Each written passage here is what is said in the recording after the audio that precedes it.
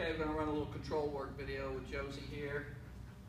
See how she takes to the notion of holding, barking, and outing on command. Once again, she's only six months old, but very, very smart, super well-raised dog, so we'll see. Let me get out of here dog. Go on, get.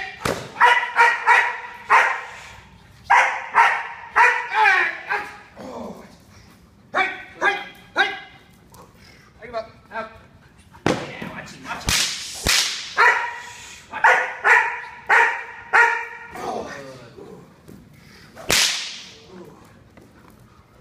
Out. Yeah, girl, watch him, watch him. Girl.